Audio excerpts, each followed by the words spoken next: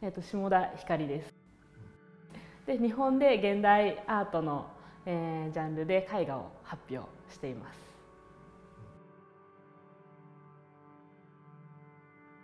もともとあの漫画を読んだり描いたりするのは好きで日本の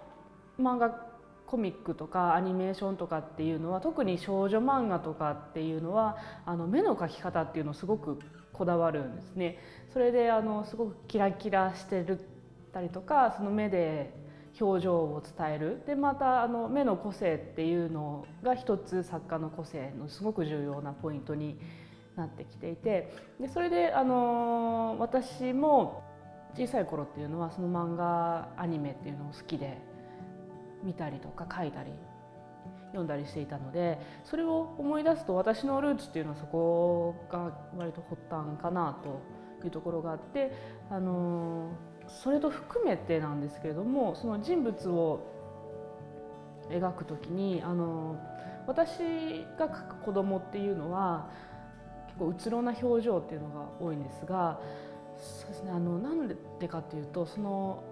私の思うその時々の感情とか感覚あとはその時々テーマっていうのを表現してくれる器であってほしいと思ってるんですね。それなのでよりあの表情が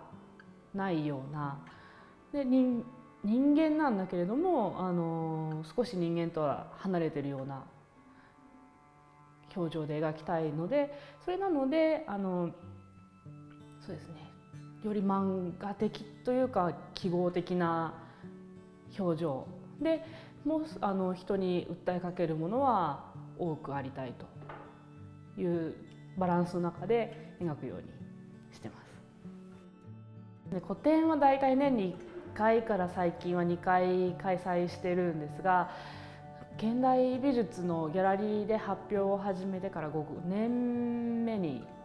なります。それで今年はあの夏に大阪の方で個展があってそれに引き続いての個展なんですけれどもあのその時のテーマを踏襲しつつまた少し新しい展開も加わっていきたいなと思って制作をしました。今までと同じものを描いているとやっぱり焼き直しというかなってしまうのでなるべく1枚ごとにあの一つずつ少し新しい感覚を見てる人自分なり他の人に与えてくれるような絵になった時っていうのはすごく楽しいのでそれを励みにまた次の作品を描くようにしてます。ちょっとその時々でやはりあの一番感じてるものっていうのを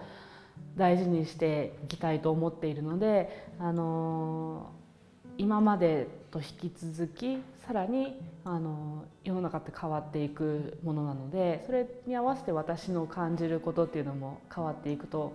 思いますからそれでまたあの新しいことを見えてきたらそれを形にしていくことができればいいなと思っています。日本だけじゃなくて海外の方からも最近は結構いろいろ見てくれるって機会がネットを介してですけれども多くなってきているのであのそれは私にとってすごく大きなことでなぜかというとやっぱり言葉だけじゃなくってあの作品を通して世界中の人と交流コミュニケーションができるっていうのはその絵の大きなところじゃないかなと思うのでそうです、ね、世界中の人にこれからも見て